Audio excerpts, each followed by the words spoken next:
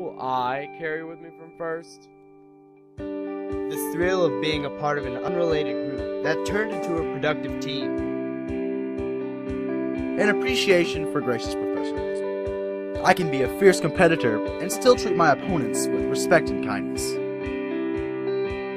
Knowledge that there is a place for everyone, even me, on our robotics team.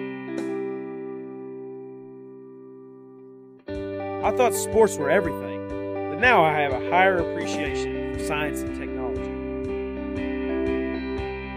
I got the courage to get out of my comfort zone. I discovered that learning can be fun. What will I carry with me? What will I carry with me? What will I carry with me? What will I carry with me? Thanks to First, I finished things I didn't even believe I could start.